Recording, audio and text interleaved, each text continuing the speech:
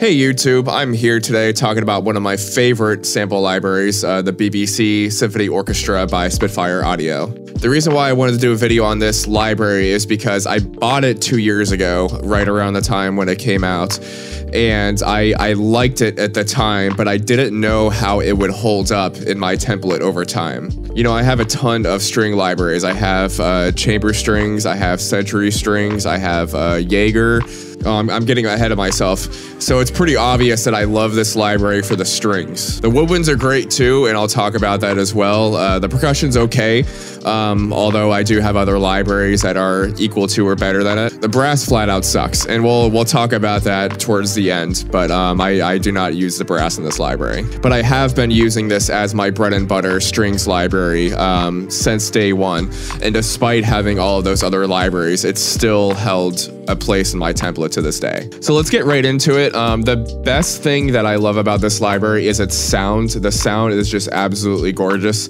Um, it has this lush 3D sort of symphonic sound. You know, I've tried Spitfire symphonic strings. I've tried um, like Berlin strings, uh, stuff like that. I haven't tried Cinematic Studio strings. I know everybody loves it, so don't kill me on that one. But everything that I've tried just sounds thin in comparison to me. And this is all my opinion, of course. But it seems whenever I go to another string library and use it for a few days, I always seem to come kind of crawling back. So anyway, here's the uh, Violins 1 uh, legato patch.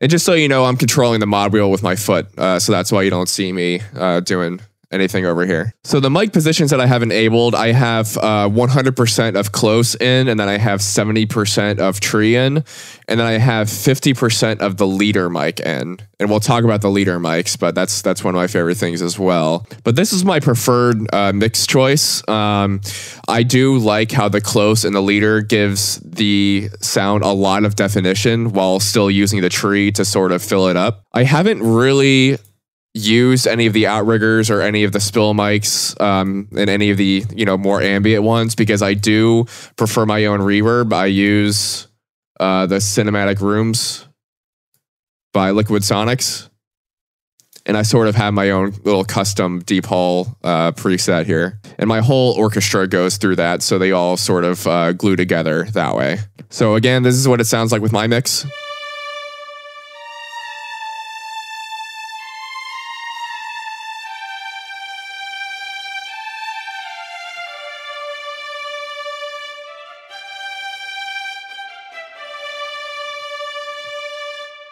Now this is what it sounds like with just the uh, mix one knob.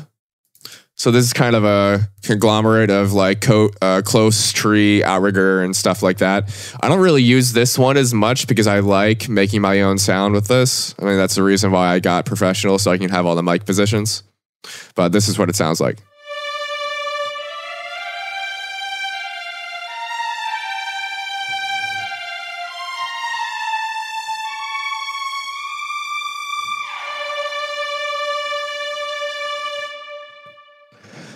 Now it does sound fuller and I do like the way it sounds, but it is a little too wet to be able to use with my uh, reverb, which means it's a little bit more difficult to blend with uh, some of the other libraries that I use. Here's cellos. This is uh, my mix.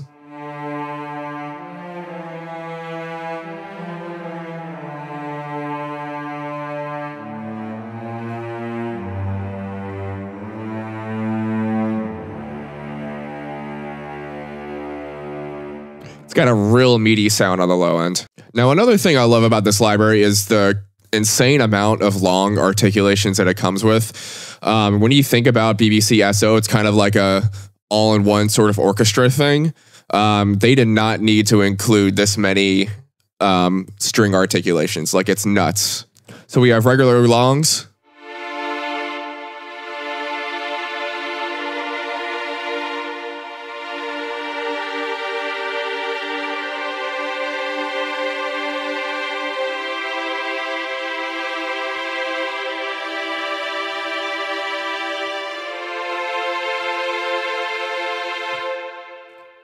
We have flautando, which is uh, what Spitfire's most known for, almost uh, memeably so.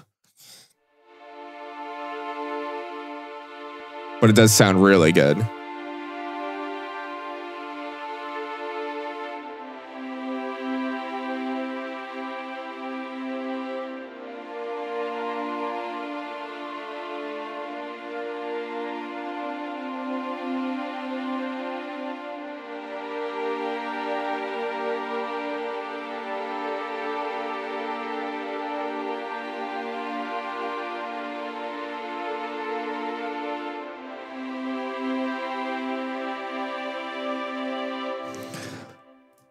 We have tremolo, of course, the usual stuff.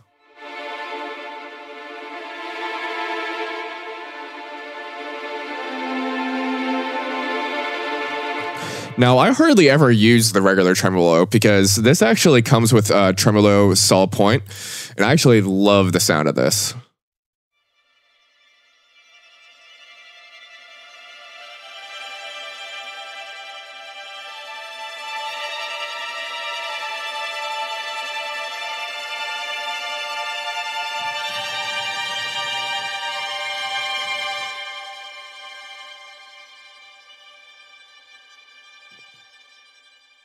It's like so thin and fragile. And so usually when I want sort of the tremolo effect, I usually reach for the tremolo sul pont. It's got the trills. Nobody cares about trills. No, I mean, sorry if, if, if you care about trills. I, I do use the, the minor second quite a bit. But it's got long sul tasto.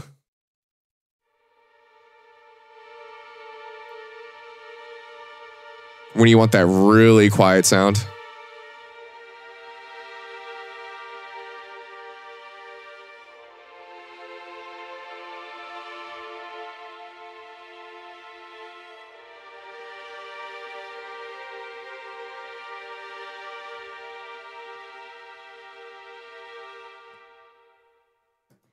It's got harmonics.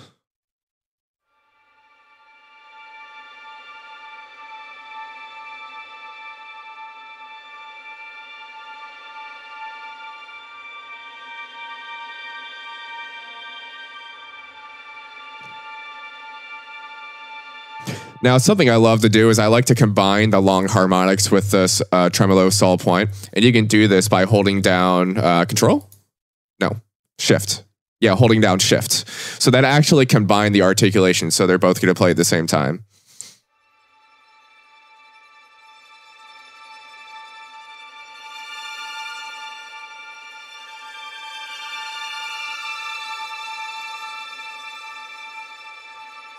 I just love the sound that that makes. Next, we have the regular sul pont.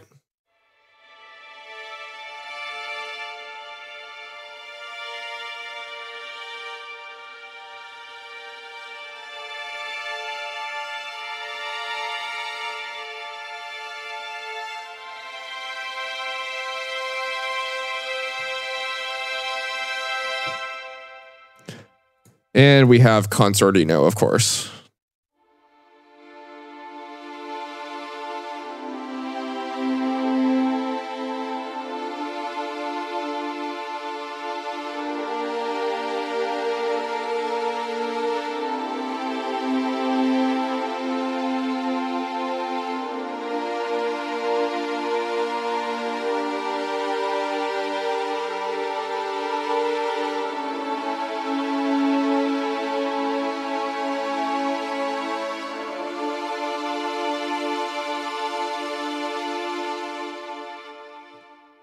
So that's really the bread and butter of the BBC SO library for me. I use the strings probably nine times out of 10. Um, as you can see, I do have the chamber strings and the century strings in my template, and I do use uh, Jaeger for some stuff, uh, mostly the shorts, as you can see.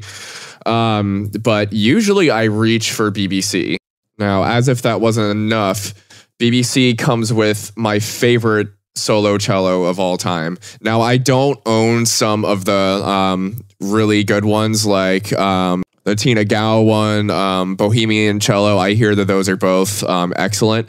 Um, but this solo cello came with BBC, and it honestly sounds better than any other one that I have.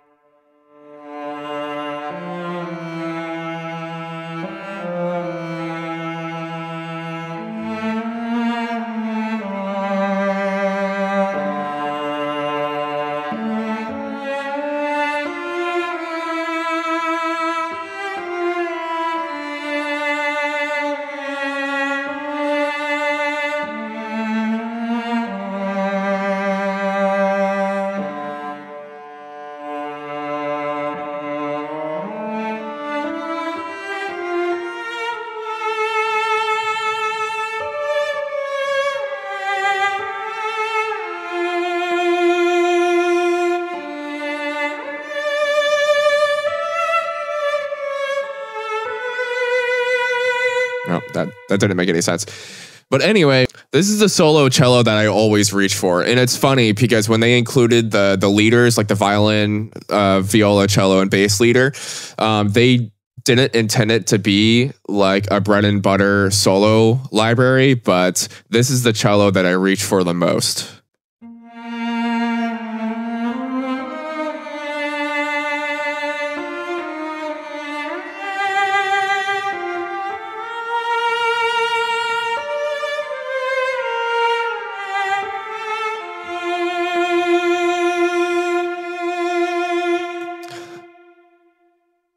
It's just got this really emotive, um, expressive uh, vibrato and this like achingly beautiful uh, dynamic to it. Here is the bass's legato.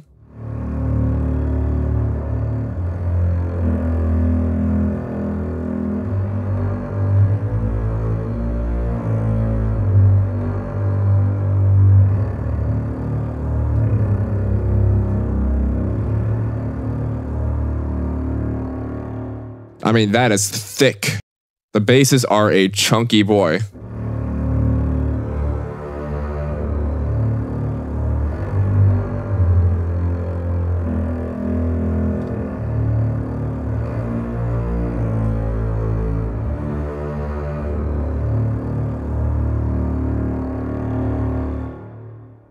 Now the shorts are not bad.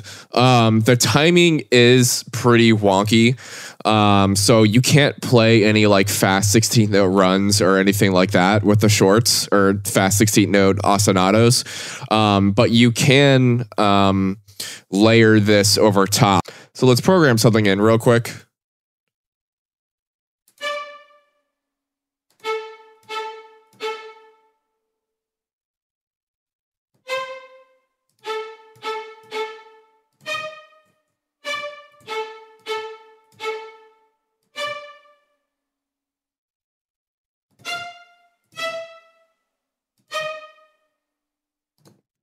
Probably sound like crap.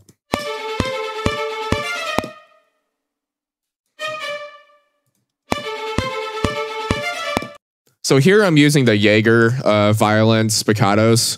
Um, I just love these shorts. Uh, they're really accurate.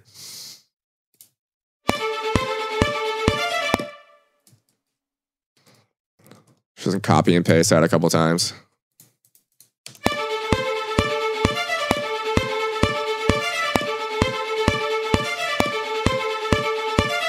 So yeah, that line sucks, but you get the idea. Um, so this is my go-to library for shorts. However, it just doesn't sound as good. Um, like room tone and recording quality as the BBC. So what I like to do is I like to use this as the base for the um, ostinatos, and then I'll literally just copy it and stick it on the BBC track as well. So that way I can kind of use um, the BBC as sort of the room sound. So let's listen to the BBC by itself. It's not going to sound as accurate.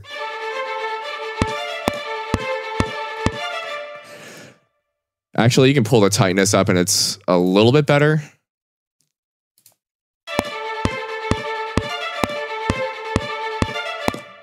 So not great, but put them together.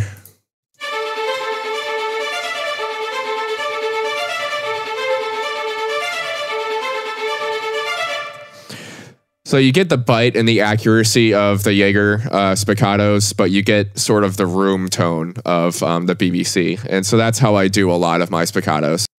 Now, I don't use a lot of woodwinds in my music, um, at least not right now. Um, but when I do, I do reach for the BBC woodwinds. The only other woodwinds library that I have is the uh, Native Instruments one, and it's it's decent. Uh, it's not nearly as good. I do have some of the special, um, like ethnic woodwinds from Orchestral Tools, uh, stuff from like the Phoenix um, Orchestra and whatnot. But whenever I need just some bread and butter normal woodwinds, I reach for BBC. So this is the piccolo legato.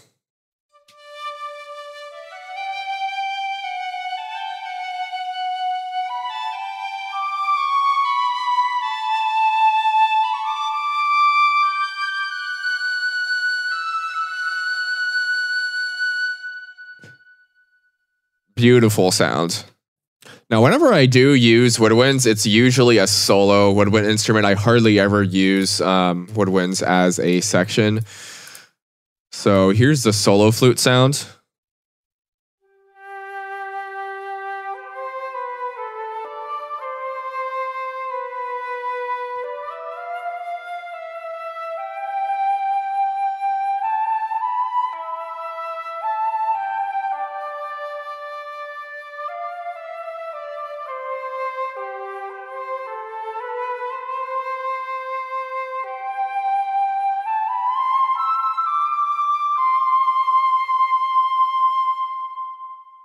Here's a section flute sound.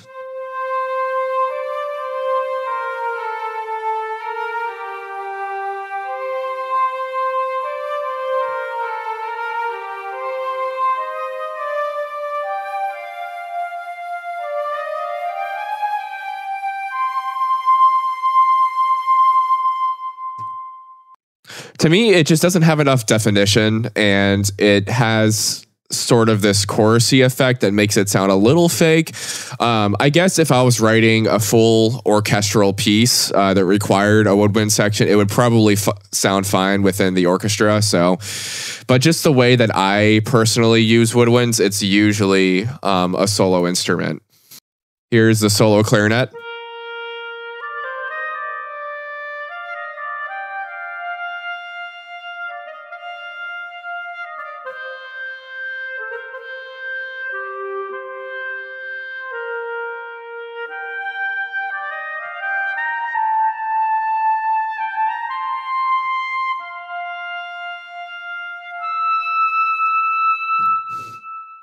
Here's the oboe.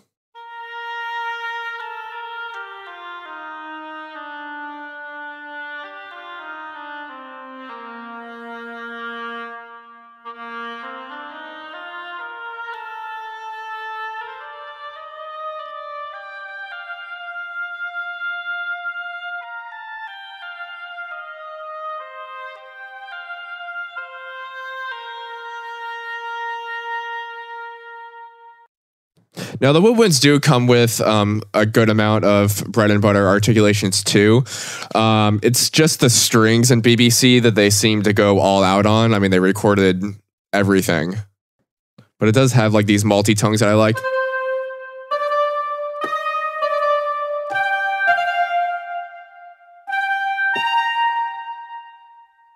Those are very useful.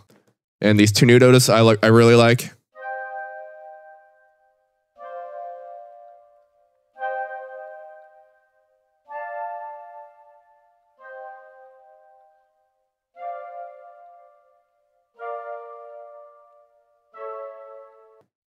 So that is the extent of to which I use BBC Orchestra in my template. Um, it does include percussion. It does include brass, but over the years I've supplemented them with other libraries. Now the brass is just plain weak sounding. Um, it doesn't necessarily concern me that it doesn't go above mezzo forte because I don't always um, write super hyped like epic trailer sound brass. I do like that low um, mezzo piano to mezzo forte sort of brass sound, but it just doesn't sound good. It doesn't have enough dynamic layers in general, so when you crossfade between the dynamic layers, it's uh, it sticks out quite a bit. And the sound itself is very muffled and dark sounding.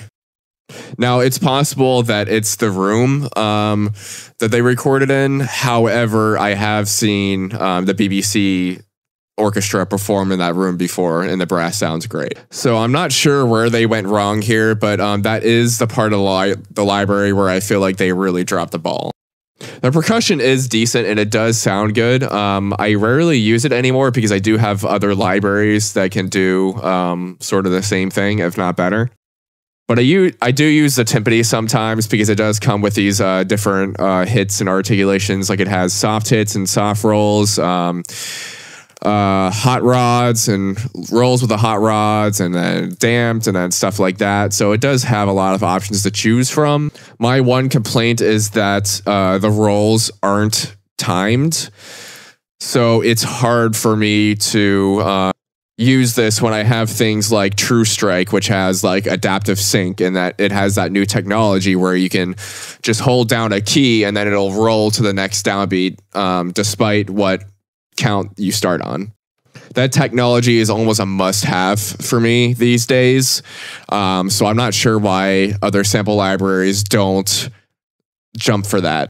Same thing with cymbal rolls. I mean, I, I do like the cymbal roll sound, but it's hard for me to use when I don't know when um, it's going to land, essentially. So the way that the rolls work um, for the timpani, at least, is that it's basically just a tremolo. And then whenever you release it, is the release sample. But that becomes problematic when you're trying to program things and you're trying to time things uh, perfectly because the release will actually happen after the downbeat. So, say I'm recording this.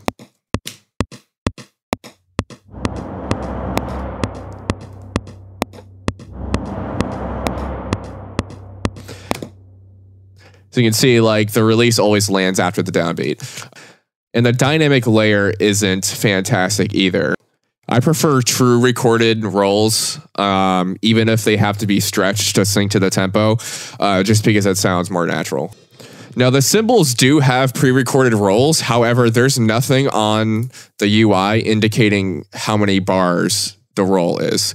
All it has is this variation knob, um, which apparently has three different settings. Which, if it has three different settings, then why put it on a knob? That's kind of confusing. But as you can see, this is the shortest. Put it up to about halfway. And it's a little bit longer, and then put it all the way.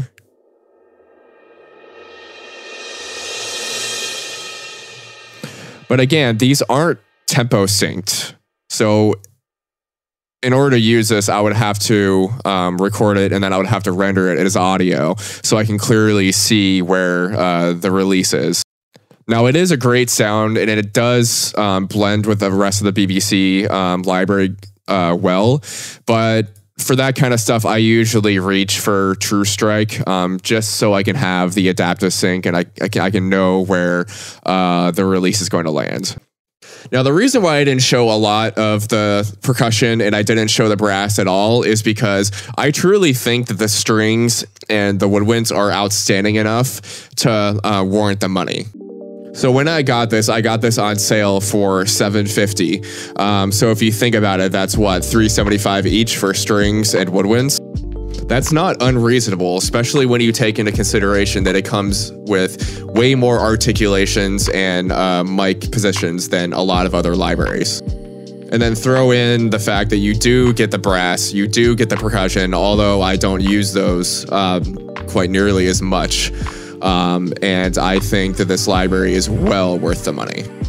The other really great thing when you get the professional edition is that it also comes with the core in the Discover edition. So I use the core edition on my laptop because it uses less RAM when you use the uh, the mix position. And I also use the Discover um, edition when I um, work with Dorico, when I work with notation. It's just easier to work with notation when you're using a little bit of a lighter library. So when you get professional, you essentially get those three different versions that you can use on three different devices if you wanted to. So thanks guys for watching. I hope this has been helpful. Um, I'm going to do more of these videos in the future, uh, so please like and subscribe. Two years later, this library is still kicking ass and it still has a nice home in my template. Let me know in the comments what you think about it and uh, how you use it. All right, guys. See you next time.